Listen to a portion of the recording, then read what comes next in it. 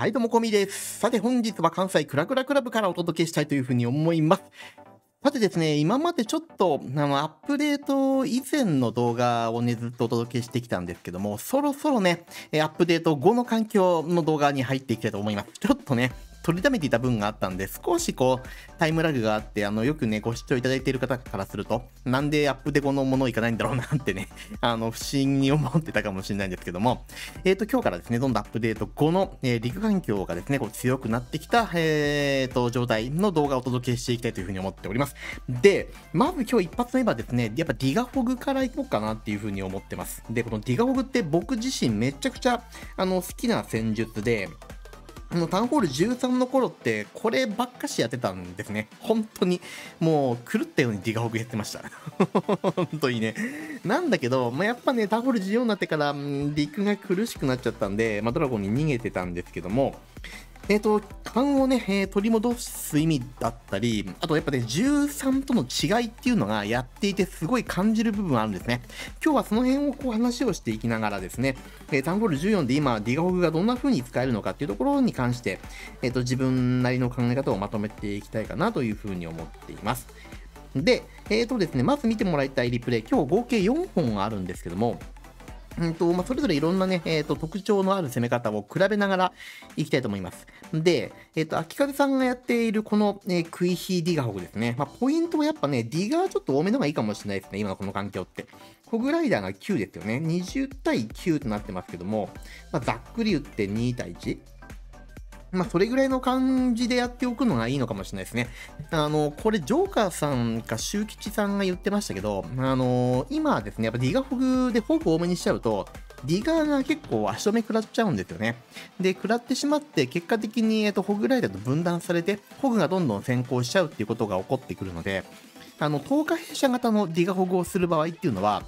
透過弊社の中に、ね、ホグライダー入れておきますね。まあ大体の場合って。なので、えっと、ホグライダーは先行してやられたらもうそいつら無視して、で、次また投下兵舎から出てくるホグライダーで、まあホグを補充していくっていう考え方ですね。ディガーは手持ちのものだけにしかまあ頼れないんで、ディガーを殺さないようにしながら、もうホグライダーはある種、まあ、使い捨てるような感じでこう使っていくっていうパターンが、まあ、主流なのかなっていうふうに思います。今回の、えー、と秋風さんのアタックもそんな感じですね。で、まあ、形的にはですね、タウンホールがまここにあるじゃないですか。で、それをこう、クイヒーで、まあ、クイーンでこう削っていきながら、えーこんなようなルートですね。ここに、えっ、と、ディガーとホグライダー、マイナーっていうらしいんですよね。ホグライダー回していく。で、外周部にキングでカットを加えながら透過弊社ですね、こいつを使って押していくっていう、まあ、こんな感じ。外周はキング透過弊社で、えークイーンでね、こう、ね、削りを入れて、まあ、若干壁の中も削った上で、その、えっ、と、キングとクイーンの間のこの部分ですね、この部分。ここっていうところを、えーディガフグでこう押していくと、まあ、いう感じですね。見てもらって分かる通り、もうホグライダー今、えっ、と、ほぼほぼ、えっ、と、なんだ、えー、透過弊社から出てきたホグぐらいしか残ってないですよね。まあ、こんな感じになっちゃうんですけど、これでいいっていうところですね。で、主力になってきている、うーとグランドウォーデンだったり、がついているディガー部隊っていうのはちゃんとヒールの輪の中に入ってきてるので、ほら、ホグもう全然これ前進してるじゃないですか、これ。で、えっ、と、こいつらはもう放置して、ホグライダーではなくディガーの方に集中してますね。で、こっちもやっぱホグがね、こう先行しちゃうんですね。まあロイヤルチャンピオンも先行しちゃうんですよ。まあ、しょうがないので、まあ、そこに関しては、あの多少ね、えっ、と、補充されるホグライダーで、えー、ロイヤルチャンピオンを守っていくような感じですね。にしていくっていう形になります。で、ポイントはやっぱりですね、あのー自分もやってて、あの、ここはタウンホール13とも変わらないなと思うんですけど、タウンホールと防衛軍、この2つをちゃんと食い火で処理できるかどうかところがめちゃ大事です。これね、どっちか残しちゃうと、かなり苦しくなるなっていうのをあの感じていて、タウンホールを食い火で落としながら、かつ援軍を処理できる食い火のスキル、あとは、うんと、まあ、その入り方ですよね。この辺っていうのが、上手に決まんないと、え食い火でが僕やれないかなと。ただ決まると結構強いんですね。そこが大きく、えー、と成否を分けるポイントになるのかなっていう気がします。なので、うんタウンホールがど真ん中にあるような、まあ、いわゆる回廊みたいな配置に対してはディガホグってやっぱりちょっと僕は使いにくいですね。難易度が少し高いんじゃないかなと思います。なので、今、アキさんがやってるのはこういう村をですね、えー攻めていくのがおそらく基地かななんていうふうに思っているところですね。はい。でですね、えっ、と、次は、ちょっと、えっ、と、一戦前に戻ってっていきたいなというふうに思います。こちらですね。で、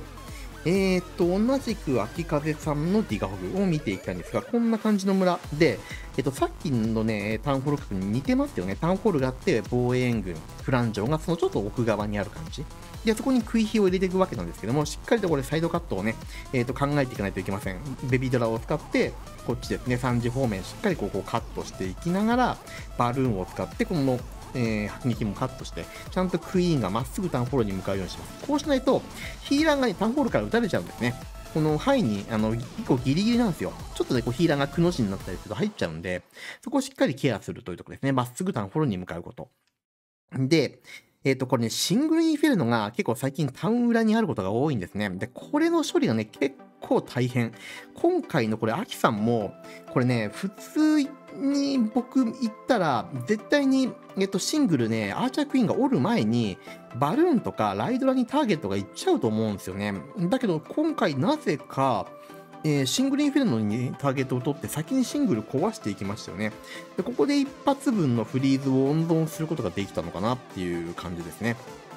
で、その間にポイズンダメージはもう、きっちりとレイジをかけ続けて、アーチャークイーンを、え、守っていくという感じですね。で、ここまで来ると、結構アーチャークイーンの仕事的には、まあ、いい感じになってくるかなと思います。これさらにですね、奥側に入っていって、相手のアーチャークイーンまでこう処理してくれるわけなんですけど、もっとしたね、はい、してくれるわけなんですけども、こうなると結構強いんですよね。で、本当はキングね、ここ壁開けて中に入れていくべきでしたね。これ中に入れることによって、アーチャークイーンが削っているゾーンと、キングでこの部分を削っていくことによって、ディガホグのルートっていうのを、こう、限定して、えー、通すことができるような形を作っていくのがおそらくベストだったんじゃないかなって気がします。結構これね、ディガホグが、あの、突き抜けてまっすぐ、えっ、ー、と、十字方面にこうガッツーンっていっちゃいましたけども、まあ、そうやって金がこう戻ってきてるじゃないですか。戻ってこさせるぐらいであれば、まあ、そこをキング入れちゃったらよかったのかなっていう、ウォールブレーカー1枚持ってるんでね。多分これ壁の開け忘れだったんじゃないかな、という気がします。ただ、アーチャークイーンの仕事量がやっぱね、すごいんですよ。あの、今見てもらってわかる通り、えー、ホール壊して援軍潰して、さらにクロスボウとかその辺殴り潰してるんで、こうなるとやっぱね、これが決まっちゃうと、もうだいぶ、えー、きついですよね。あの、簡単にディガホグで持ってかれちゃう。だから、トルネードの位置なんかも結構ね、今後難しくなりますよね。必ずしもこういう、ここら辺に置けばいいかっていうと、そうでもなくて、あのー、シングルインフェルノがここにあるじゃないですか。タンホール壊してもシングルインフェでアチャクイ潰すように、この辺に置いておくとかね。まあ、いろいろ考えていかないと、うん、いけないかなっていう気は、まあ、こういった攻めを見ながらしてます。ただ今みたいな感じで、インフェルノがちゃんと食い火で潰せるかどうかってすごく重要で、これ潰せないと、あの、アーチャークイーンが途中で落ちちゃって、あの仕事不十分のままディガホグも伸びないっていう結果に終わってしまうんで、え秋風さんもやっぱね、この食い火ディガホグ昔からうまいんですよね。あの、タンコール13の頃はバリバリやってたし、まあ、14でもたまにやってたんで、あそういう人からするとやっぱりこの形を作るのがうまいですね。まあ、そこをだから逆に言うと極めることができてくると、えー、ディガホグ割と使えるようになるのかなってね、まあ自分自身、あのー、タウンホール周りの処理っていうところに少しこう、えー、注力しながらこれから練習していこうかなというふうに思っているところですね。で、えっ、と、突撃艦イエティからのスーホグですね。うん。これ、あの、おそらくね、ここ、スパビスでも良かったんだけど、ボムタワーがね、ここにあったんで、ペッえっ、ー、と、イエティを選んだっていうとこですね。で、えっ、ー、と、イエティで、えー、クロスボウ、さらに投石まで潰していきながら、アーチャークイーンで釣った援軍を処理で、そのままこっち方面ですね、こう進めていって、タウンホールを狙っていくと。このね、スーサイドはちょっと僕はあんまりできねえかな。あの、うーん、なかなか、これ、で、一回僕ですね、クイヒーディガホグで、ね、これやったんですよ。で、えっ、ー、と、ここにね、同じとこにこう、トツイエティ打ったんですね。トツイエティを打っていって、で、イエティでここ潰していきながらのクイヒーでタウンホールをケアしながら、えっ、ー、と、この辺までこう潰して、で、キングを外周歩かせながらのディガホグ、こんな感じがなってね、こんな感じでいったんですけど、時間切れに終わりました。えっ、ー、とね、3%くらい残っちゃったんですね。で、そこがね、なんでかって、まあ、いう話なんですけど、あの、タウンホールね、13だったら、トツイエティからのディガホグとか、まあ、トツスパからのディガホグって結構ね、やれたんですよ。なんだけど、今この環境になってくると、結構ね、時間切れになっちゃうんですよね。スパビズやイエティで、あの、削りを入れてとかやっている時間が結構長くなっちゃうんで、だそこですよね。少しね、あのなんだ、えっと、13と環境変わってんなって思うのはそこかな。突撃艦を使うよりも、しっかり透過弊社を使って、この外周部分をカットしていきながら、えー、さらにホグライダーを補充しつつ、ディガホグの数を保っていくっていう方法の方が、おそらく14では安定しますね。これはあの強さの面でうんぬんではなく、時間管理の面でアドバンテージがあるかなって感じ。で、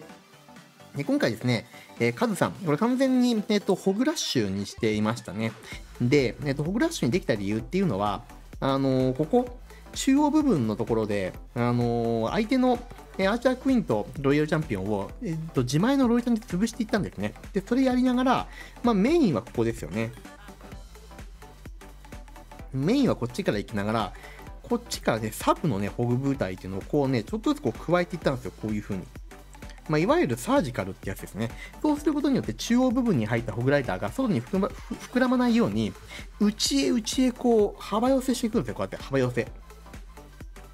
で、こういうことができる方の場合には、あの、ホグラッシュっていいのかもしれないですね。あの、ディガホグの利点っていうのは、ディガーとホグライダーがこう面になってガーって押し込んでいけるので、そこが結構、あの手間がかかんないんですよね。そんなに。もうあと、ディガホグをドバーッと出し終えたら、もう呪文使うタイミングと能力だけでいいんですけど、今のカズドラキルさんみたいに、あの、サージカルに出そうと思うと、出すタイミング、出す場所に加えて呪文の管理もやっていかなきゃいけないので、あとまあ当然特殊能力もそうですよね。なので、まあ多少難易度が上がります。この辺は、ご自身のその慣れによって使い分けたらいいのかなと思うんですけど、安定するのは多分ディガーホグですね。あの、ディガー多めにしてのホグライダー。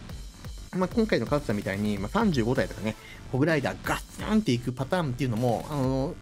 ジョーカーさんが動画で、確かトツスパからのあのホグラッシュって、あの生アタックかな、レジェンドかなんかでやったのかな、あのやってらっしゃいましたけども、あれ僕ちょっと難しいなって思いましたね。まあ、シンプルなのはやっぱディガーフの方かなっていう気がします。まあ、その辺はね、あの使い分ければいいと思うし、どっちも、あの使いこなせたらまあ最強ですけどね。はい、というとこです。で、えっと、最後もう一本だけ、え、見ていこうと思います。今度 TH コンプリーターさんの方に移動していきます。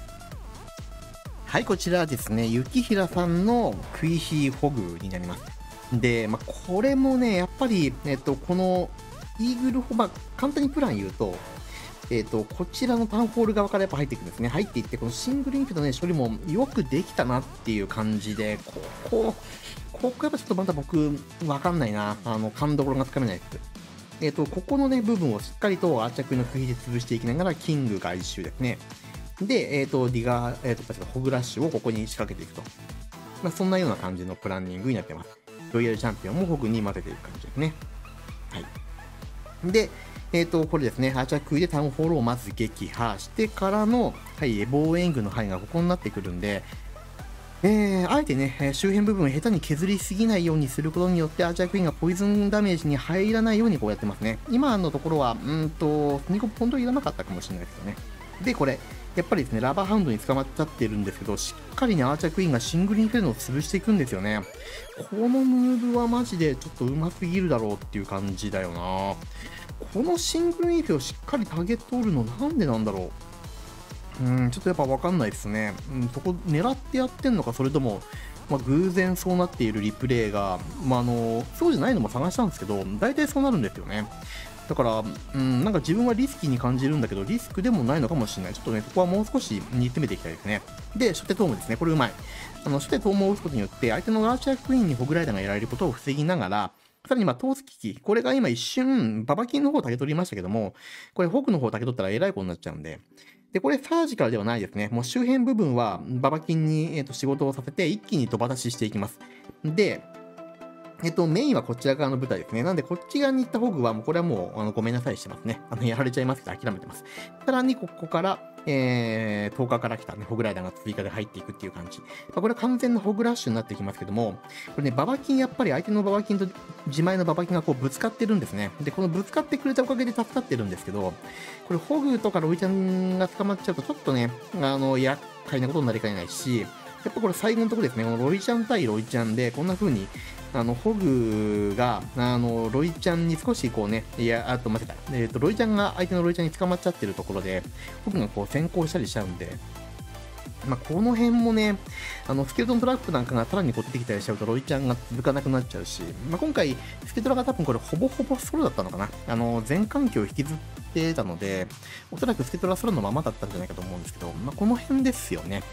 あのー、リックのスケルトンが今後増えてきちゃうと今みたいな形でホグラッシュ仕掛けた場合に、ホグが結構やられちゃうってことがあるかもしれないですね。今回の場合、あの、相手のヒーロー、クイーン、キング、ロイちゃんを全部ホグ、えーと、ホグロイちゃんか、のパートで潰していきましたけど、これは結構レアケースかなっていう気がしますね。うん。うん、かなりうまくいったパターンだと思うんだけど、どうだろう、自分でするにはちょっと怖いかなっていう。雪平さんってかなりね、あの、いろんな判断力が高いんですよね。呪文使うタイミングとか、えっと、なんだ、トーを使うタイミングとか、そういういろんなあの判断がの力が高いんで、まあそういう方であれば、この形でも取れるんだろうけど、だからポテンシャルとしてはあると思うんですけど、やっぱり、うんと、ヒーローを何体もこうディガホグパートで相手にしていかなきゃいけないっていう場合には、まあそうだな、ホグラッシュよりもディガホグにした方が僕としては楽かなっていう気がしますね。サージカルで使っていかないんだったら。今みたいな形で使っていくんだったら、ディガ、ホグにしといた方が多分楽かな。うん。あともう一個、まあ時間ですよね。クイヒパートに結構時間かけても、これ全部で2分30秒弱ぐらいでいっちゃってるんですね。なので、えっと、やっぱね、時間管理っていう意味では、ホグラッシュの方が当然早いは早いと思うんで、まあその辺ですね。あのー、自分の、ま、スキルと、あとは、えっ、と、なんだ、うんと、相手のヒーローの位置かな。あともう一個、これ、中にあんまね、ストレージ系がなかったね、こういうとこに。あの、タンクとかね。あのー、なんで、回収の手間もあんまない領域をホグラッシュで、まあ、走らせていけたっていうところも大きかったかな。まあ、その辺の相手の配置を見ながら、どちらが使い分けると、まあ、いう形でやっていくのがいいかなと思います。ポテンシャルは、あの、ディガホグもホグライダーもあるというところなんですけども、使いやすいのは多分ディガホグというのが、まあ、今のところ僕の結論ですかね。で、えー、クイヒーパートはちゃんと、えー、タウンホールと防衛軍、これをケアする、えー、ルートを取ること。で、さらにはそれをできるだけのスキルが、えー、自分にあることですね。それが条件になっているかと思いますので、えー、これがね、できてくると、今やっぱディガホグ結構強くなってきたし、ま、楽しいんですよね。あのね、ディガホグマジ楽しいんですよ。あの、久しぶりにやるから。あの、違うゲームやってる感じになりますよね。はい。なので、ぜひね、試してみてもらいながら、ディガホグ成功を祈っておりますので、えこの動画そのご参考になれば幸いでございます。というところで最後ちょっとね、語りが長くなっちゃいましたけども、え本日この辺で終わりにしたいというふうに思います。で私のチャンネル、えこんな形でクラン対戦の解説付きの動画中心にやっております。えー、タウンホール14今日は紹介しましたが、12から14まで幅広くですね、扱っておりますので、え今回の動画もいいなと思ったらグッドボタン、チャンネル登録ぜひぜひよろしくお願いいたします。えそしてまた、えこれからもですね、どうぞご視聴よろしくお願いいたします。では、本日も最後までご視聴どうもありがとうございました。また次の動画でお会いいたしましょう。バイバイ。